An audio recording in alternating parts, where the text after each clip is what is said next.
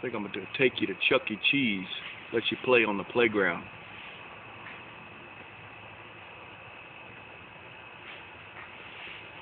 Cigar Blaze here.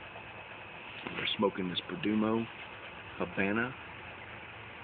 This is a nice, fat, juicy, juicy cigar. And I'm enjoying it. Sitting out here on a hot Sunday afternoon. Boys are out cutting the grass.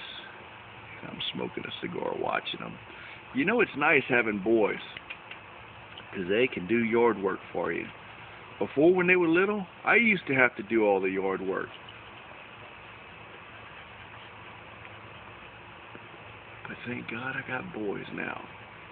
But pretty soon they're going to find them some little hot-tailed jennies and they're going to be off and flittering around and I ain't going to be able to find them anymore and I'm going to be stuck doing the yard work again. But it is what it is, it's always good.